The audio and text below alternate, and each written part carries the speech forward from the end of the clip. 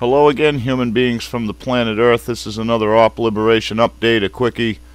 Uh, things have moved on, and the boats are headed over to a new site that likes to torture our children. Let's go check this one out.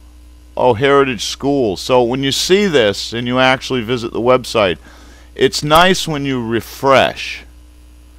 You see, um, because this is not illegal activity. Um, no, no, not at all.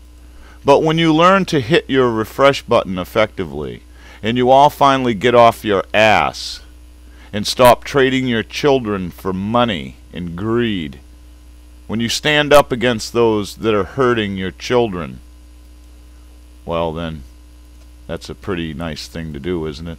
Maybe you can actually find some worth within yourself when you actually stand up.